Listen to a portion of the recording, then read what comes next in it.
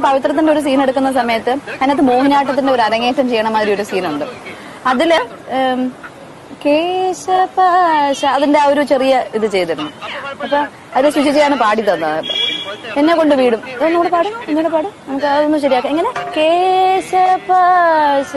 എന്നിട്ട് എന്റെ കൂടെ അഭിനയിക്കുക. ആ- സീനിൽ ഒരു ശരിക്കും പവിത്രത്തിൽ എനിക്ക് റീഷോട്ട് എടുത്തൊരു സീൻ ഞാൻ അത് അത് മാത്രമേ ഓർക്കുന്നു. എന്റെ എന്റെ തെറ്റ് കാരണം. എന്താ കാര്യം എന്ന് വെച്ചാൽ അതിലിങ്ങനെ മൂത്ത ചേട്ടൻ വന്ന് വിളിച്ച് പറഞ്ഞത് ഞാൻ വിളിച്ച് പറഞ്ഞത് അദ്ദേഹത്തിന് ഇഷ്ടമായിട്ടില്ല അപ്പം അതിലിങ്ങനെ ആണി ആണി കുത്തുന്ന ഒരു സീൻ മാതിരി. അത് എടുത്തിട്ട് ആണി എടുക്കുന്ന സമയത്താണ് ഈ മൂത്ത ചേട്ടൻ വന്ന് കാണുന്നത് തന്നെ അപ്പോൾ അത് അത്ര ഇഷ്ടമായിട്ടില്ല ഞാൻ ഫോൺ ചെയ്തു പറഞ്ഞു എന്ന് പറഞ്ഞാൽ അദ്ദേഹത്തിന് ഇഷ്ടമായിട്ടില്ല അതിൽ ആദ്യത്തെ ആദ്യത്തെ ഷോട്ടിലൊരു റിയാക്ഷൻ തന്ന്. ഞാൻ ലിറ്ററലി സത്യമായിട്ടും വായും തുറന്ന് ഇങ്ങനെ അങ്ങോട്ട് ഞാൻ മറന്നുപോയി.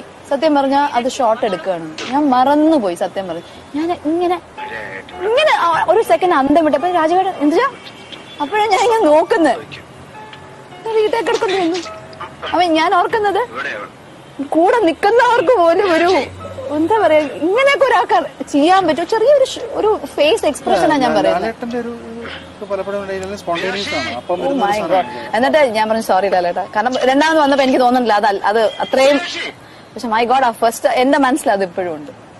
ഐ കുഡൻ അത് അത് ഞാൻ കാരണം അത് വന്നിട്ടില്ലല്ലോ എന്നുള്ള എനിക്കൊരു ഒരു ഒരു സങ്കടം എപ്പോഴും മനസ്സിലുണ്ട്. പക്ഷെ ഈസ് ടു ബ്രില്യൻ നമുക്ക് ഒരു ഒരു ചെറിയ എപ്പിസോഡിലൊന്നും പറഞ്ഞു തീർക്കാൻ പറ്റുന്ന ഒരു ഒരു കാലിബർ ഉള്ള നടൻ.